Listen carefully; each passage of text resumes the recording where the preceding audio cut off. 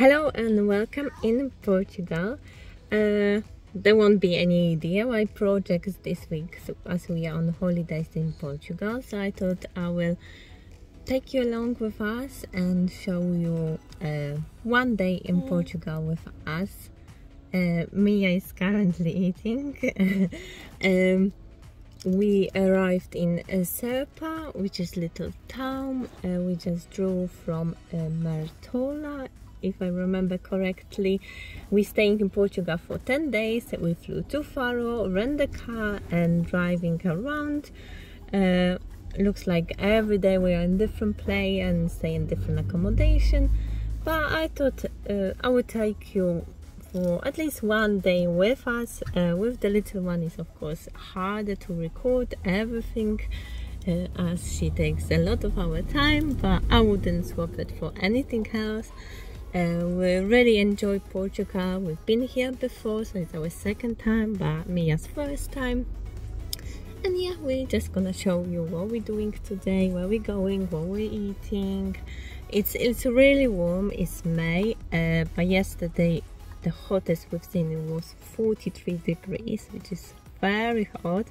and we have to be, of course, careful with Mia, so we are staying mostly in the shadows. Evenings are better because it's still warm, but not as sunny. I think Mia is enjoying her time in Portugal. And we are going to have some cake and coffee now. Her belly is full, so now it's mommy and daddy turn to eat.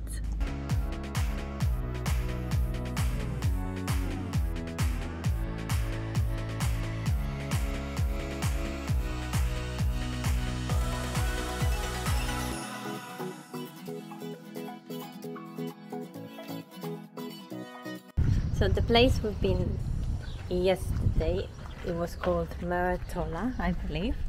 Um, it was a really nice little uh, town by the river with a beautiful castle.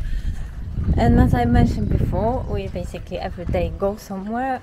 We don't have any plan. We just go in the car in the morning, choose the destination, and we go. We don't even have any accommodation booked till we know oh we like this place and we want to stay here. Uh, it's a kind of adventure. I know it's a bit risky with the little one but she's doing very well. And that's how we used to do. So we don't want to change this because now she's with us and we are kind of limited. We we do what we usually were doing so just exploring different country our way. So Mértola was really nice. The only problem was uh, the roads uh, it's fine when you just walk. But it's harder when you have a tram uh, as the roads are so uneven and very bumpy and it's like very hilly. So it was a challenge to go with the pram but at the end we made it. She actually even liked it shaken and she was sleeping very well. It's quite windy at the moment so maybe I stop recording and I show you where we are now in the Serpa I believe so bad with the names of the places but yeah it's windy so I don't know how good you can hear me so just let me show around.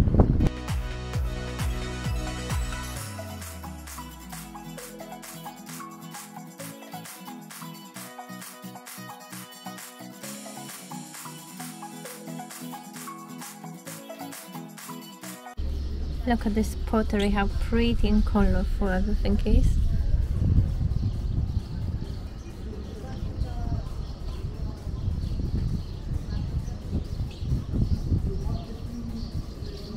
It looks like it's all handmade in here. Cork shoes. Portugal is very famous for the cork trees and you can find so many things made of the, out of the cork, even the shoes. And those baskets, look how cool they are.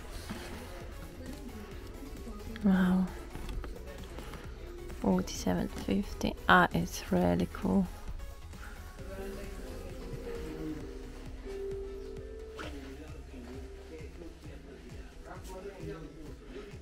And the blankets, bed throws. Oh, so nice. Look at the colors and the patterns on them. Beautiful.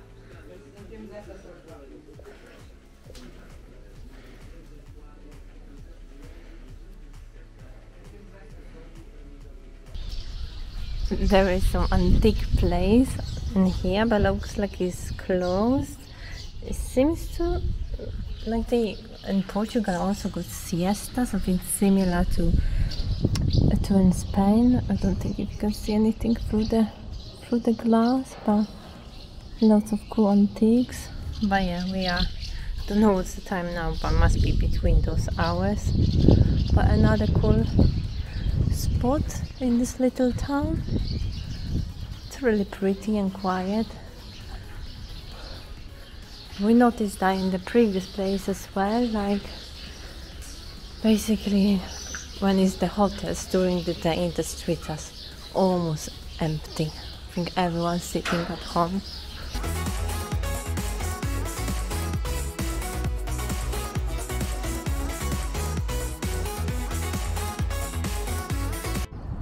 So we arrived in uh, another place. Uh, this time is a bigger city called Beja uh, we are in the castle at the moment. It's so, so windy today. It's still very hot but very windy so I don't know how, how well you can hear me.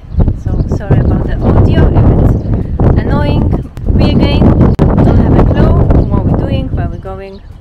We just walk around. It's really nice. It's bigger than bigger place than the ones we've been before and the weather is nice. The, uh, the wind is actually very nice. Nice breeze. And we just have a look around again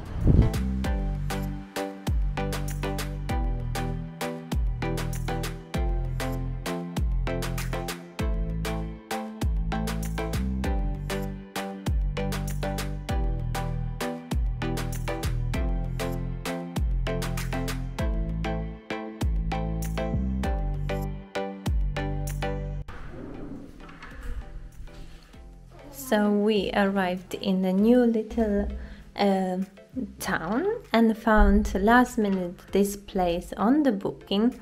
I will leave the link to it down below because it's a, such a lovely place. Beautiful. It's a little bit out of the town but uh, it's got the swimming pool. It's beautiful outside. So if you just want to chill out it's perfect spot so once you walk in, there's massive wardrobe. They also gave us the travel code for Mia and she will go to sleep in a minute. Yeah.